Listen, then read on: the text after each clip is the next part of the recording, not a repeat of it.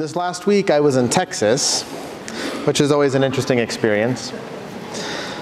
No offense to the Texans who might be here. And I was at Texas A&M University at St. Mary's Catholic Student Center. And I was there with the hope of walking with young people and discerning their direction and their call from God. The hope that I might meet some young men that would have an inspiration to want to move all the way to New Mexico, be a Norbertine, and come serve you all. It's a very narrow market, so we have to cast a very wide net. And as I'm there, one afternoon, sitting in this big atrium space they have where all the students gather and they're preparing for finals and they're all stressed. So, of course, what students do when they're preparing for finals and stressed is they do everything they can to avoid doing the finals and acknowledging the stress.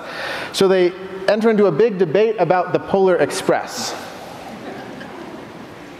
Now, for all of them, who are in their late teens and early 20s, Polar Express was a movie of their childhood and they start debating inconsistencies in the storyline and trying to find the theological significance of what's going on in the Polar Express. Now, if you're not familiar with it, one of the key components of the story of the Polar Express is this bell. This bell that seems to have no sound unless you believe, in which case you can hear it. So as they're debating this, I said, I think you might be missing some elements because in my childhood, the movie did not exist, but the book did. Well, they were dumbfounded. They were like, There was a book? I was like, Yes, there was an era when people read. It was true. So we went, and actually in the bookstore, not near, not too far by, they, they had it, and we went and got it, brought it back, and, and went through it. But it was an interesting testament to their yearning for a way to understand the significance of faith, to understand the power of what it is to give ourselves in belief to something before we fully understand it. If we have total comprehension of what's going on, then it's not faith, it's just facts. But while I was also there, you can imagine I'm sure this may happen to you when you travel. The one thing Albuquerque is known for is Breaking Bad. So everyone's like, yeah, you're, you're from the Breaking Bad place, right? It's true. I am. The challenge with that is sometimes that fictional reality can seem all too real. The Tuesday before Thanksgiving, we laid to rest from our parish church here Jackie Vigil, the woman who was shot in her driveway one morning on her way to the gym. Mother of two state police officers, for no apparent reason.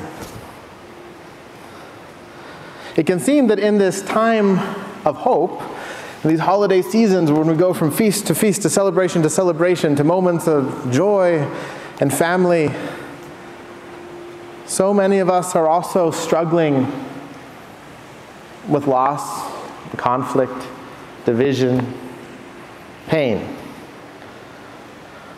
And so when we walk in those spaces, it can seem absurd when we hear from the prophet Isaiah this vision of a world in which the wolf shall be the guest of the lamb, and the leopard shall lie down with the kid, and the calf and the young lion shall browse together, and the cow and the bear shall be neighbors, and the lion shall eat hay like the ox. These images that put apparent contradictions together, that take beings that should be enemies or predator and prey and find a place for them to coexist. You can say, how, how could that be, Isaiah? Like, really, what, what were you smoking?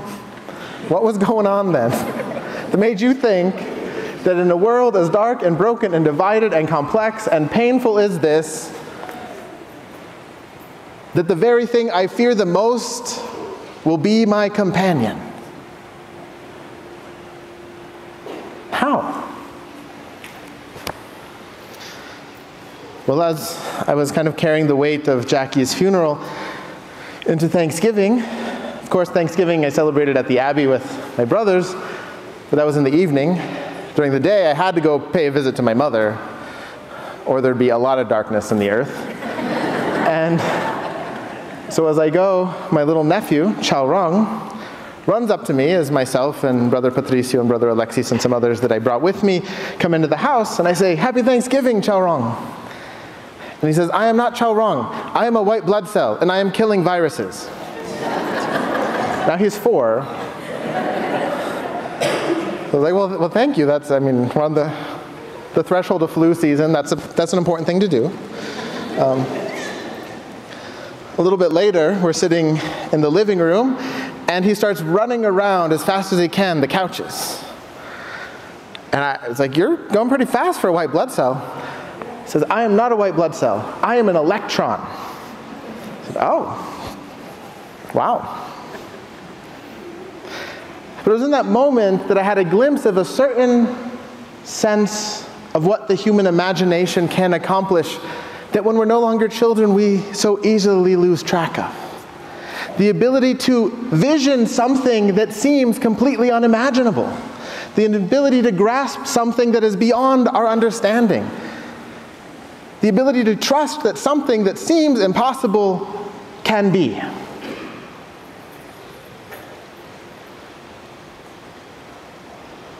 And then I thought, well, where is it that we find that? Where is it that we can begin to hear the bell that seems to make no sound?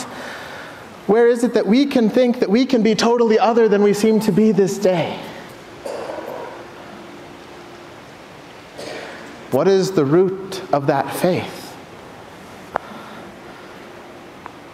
It's here. It's when we, as the body of Christ, gather together to share in his sacrifice. One of the hallmarks of what distinguishes us from other Christian denominations as Catholics is our belief in the real presence, the fact that the bread and wine that we offer at this altar is transformed through God's grace and the work of the Holy Spirit into the body and blood, soul, and divinity of our Lord Jesus Christ. And that's not a trivial doctrinal fact. That's just not something that we say, well, yes, I believe that, and then move on with our life as though it has no bearing. What this demonstrates to us each and every time we gather is the power of God's grace to do the seemingly unimaginable to work miracles in our midst, to say that which has no possibility to happen in our world does. It's our encounter with the Eucharist that opens our eyes to faith. It's what allows us to hear the ringing of God's grace in our world. And more than that, it's not just us witnessing something at a distance. For the offertory prayers, which we never hear on Sunday, on weekday masses you'll hear them. When the priest offers the bread and the wine, say, Blessed are you, Lord God of all creation, for through this goodness, through your goodness, we have this bread and this wine to offer. Fruit of the earth, fruit of the vine, work of human hands. May it become for us our spiritual food and drink. We're acknowledging that the very things we offer to our Lord are first and foremost gifts from Him. And yet, not just gifts from Him, but the works of our hands, things that we have formed, encountered, experienced, created. And so we don't just offer bread and wine to be transformed, we offer our very selves, for our lives are nothing more than His gift. And yet, formed by us in our journey, our lives, our struggles, our rejoicing,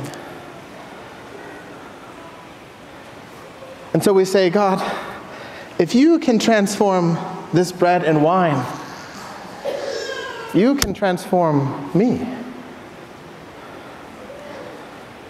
And then, as St. Augustine tells us, we truly become what we receive.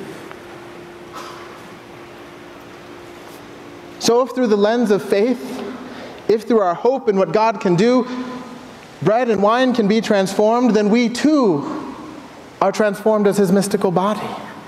here present in this world.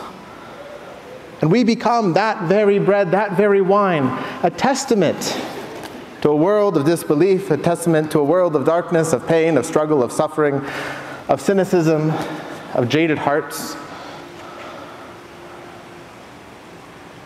To say that the sound of the bell of faith still rings. Now we hear in the prophet Isaiah that all this begins with the emergence of a bud. And so, in those moments where we say, I just can't see it, how do I grasp it? How do I make sense of it? Where's the signs, God? Show me the miracle. Well, if even the emergence of the glory of his kingdom begins with a simple bud growing, how many of us have been able to witness that fact? a new growth emerging from a root. You could sit there and stare at it all day and it's not going to look any different. But over the course of time, in the waiting patience we are called to this Advent season, we begin to see it emerge. And slowly, in God's own way, it comes to full flower.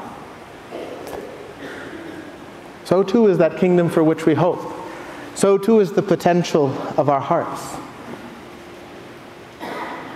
If we but take the leap of faith to trust in the transforming power of God that we share at his table.